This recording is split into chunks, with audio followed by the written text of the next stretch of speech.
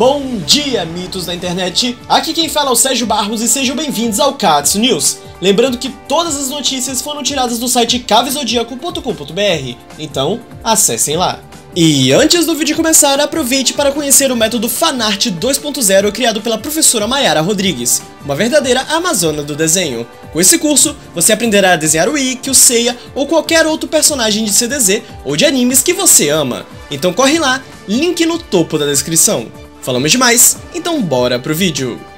Faltando exatamente um mês para a estreia do novo anime dos Cavaleiros do Zodíaco, um remake, embora se pareça muito mais com um reboot, em 3D CG pela gigante Netflix, alguns veículos da imprensa já tiveram acesso aos seis primeiros episódios, e eu vou trazer alguns spoilers publicados pelo site Gamer 4K. A história começa estabelecendo a chave para a separação de Seiya e sua irmã Seika, que também consegue queimar o seu cosmo. As armaduras surgem através daquelas plaquinhas estilo filme da lenda do santuário, e as urnas, as Pandora's Box, são apenas decorativas e desnecessárias. A Guerra Galáctica é desenvolvida clandestinamente, sem público e da maneira menos épica possível. Os futuros Cavaleiros de Bronze não foram adotados pela mesma organização. Shun agora é uma mulher, mas isso aqui a gente já sabia, né? Athena sempre se reconhece como tal e Saori nunca é uma garota mimada. No meio, há uma profecia que divide o santuário. Athena teria relação direta com o fim da humanidade. Mitsu Masakido não é o único que encontra Saori ao lado de Aorus, o Cavaleiro de Sagitário.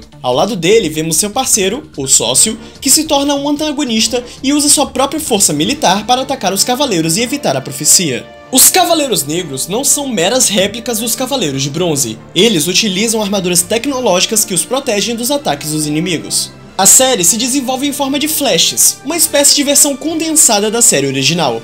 A animação peca várias vezes, especialmente em situações da luz do dia. Combates geralmente acontecem sem técnicas e ataques especiais, dá uma sensação que são apenas luzes disparadas dos punhos. O primeiro capítulo é focado na origem do Seiya e nos problemas enfrentados por Mitsumasa Kido. Nos capítulos seguintes, vemos o desenrolar da história do Ikki. Personagens parecem que nunca se conectam, ficando mais evidente isso em Yogi Shiryu, Gurimitos, como isso é um vídeo de notícias, eu não vou me aprofundar nem dar minha opinião pessoal. Num vídeo futuro, eu irei mais me aprofundar nisso, fazer um, minha opinião sincera, alguma coisa assim.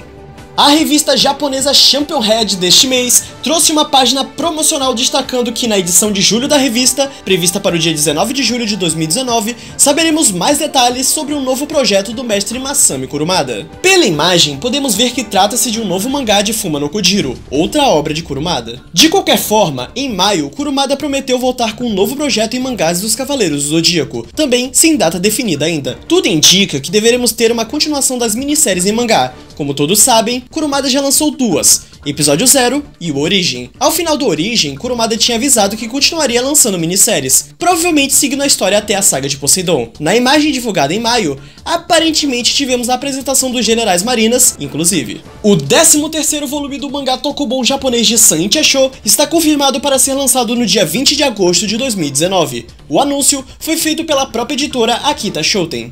A empresa chinesa Tencent anunciou o lançamento da versão em inglês do jogo mobile oficial licenciado dos Cavaleiros Zodíaco, batizado agora de Saint Seiya Awaken. A versão original, chamada de Saint Seiya Tencent, foi lançada no final de 2017. O jogo está disponível para smartphones Android e iOS e no Brasil será possível jogá-lo também em breve, neste caso, apenas na plataforma Android, já que o APK será distribuído gratuitamente. Então é isso pessoal, espero que tenham gostado. Se gostaram, já vão deixando seu like, me sigam em todas as redes sociais, os links vão estar aqui na descrição. Eu fico por aqui, até a próxima, valeu!